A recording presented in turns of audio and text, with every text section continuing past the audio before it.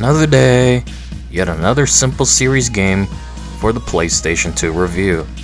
This time, it's not an Onechanbara game. Nope, it's actually something good. Who would have thought a simple air hockey game for the PlayStation could be so chaotic, simple, and fun at the same time? There was no expect- expectations going in, and in turn, I was left surprised at how good of a quality game this ended up being.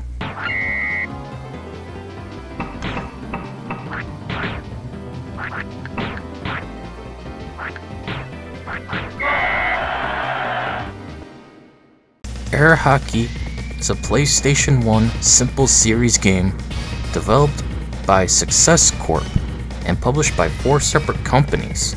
You got Success Corp, ZeniMax, Midas Interactive, and Hamster Corporation. Hamster Corporation?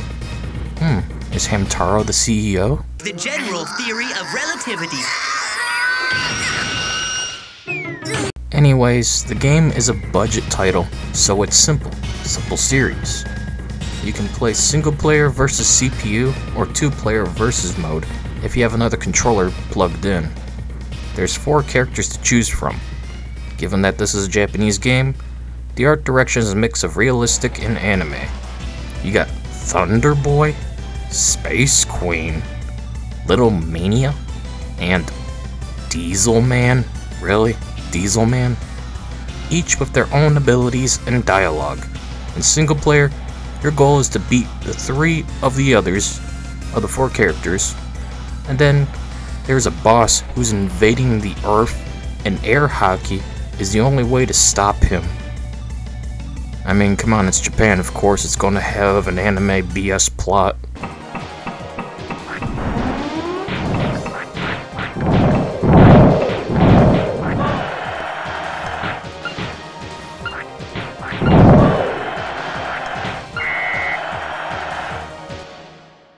Controls can take some getting used to.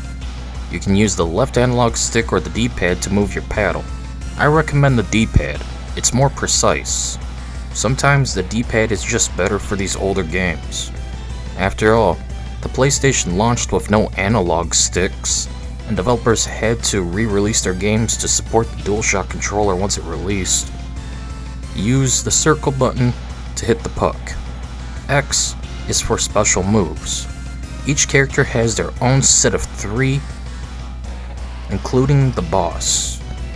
These can backfire though, as the puck can fly all over the place and easily score a point for the other players slash CPU. Use these only when needed to give you an edge.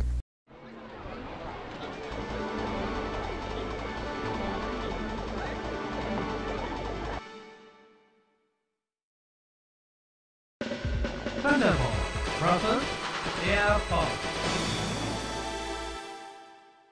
There isn't much else to talk about as that's the entire game. Just one mode that's either player versus CPU or player versus player. There's no unlockables, no other modes, no nothing. It's simple fun that gets chaotic as hell with the various abilities and power-ups that appear on the table.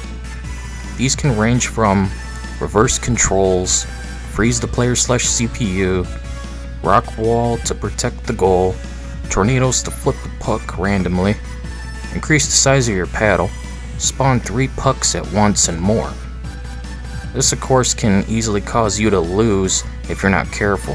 In fact, after trying a few times to beat the boss, I gave up. I played everything the game has to offer.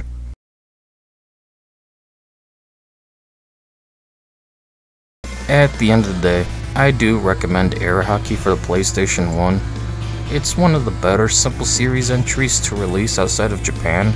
The chaos, anime characters, abilities, and power ups keep you on your feet, leading to a challenging good time. Anyways, that's it for this video. See you all later.